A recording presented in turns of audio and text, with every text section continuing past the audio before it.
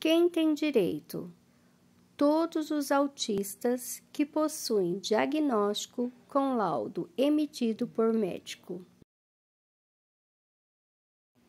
Documentos necessários: RG e CPF do autista, RG e CPF do responsável, fotografia digitalizada do autista ou autorizar o uso de fotografia do RG se atualizada.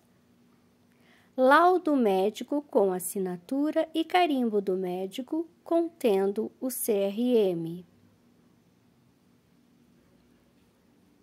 Exame do tipo sanguíneo do autista, podendo ser a carteira de nascimento, carteira de vacina ou o próprio RG se conter essa informação.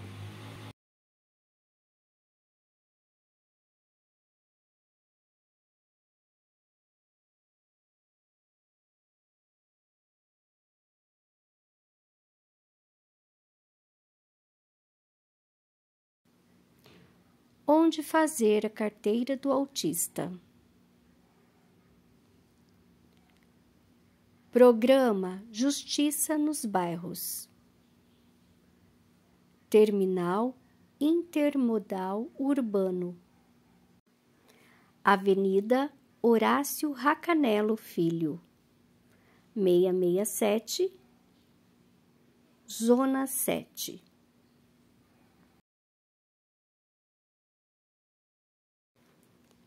Dias e horários.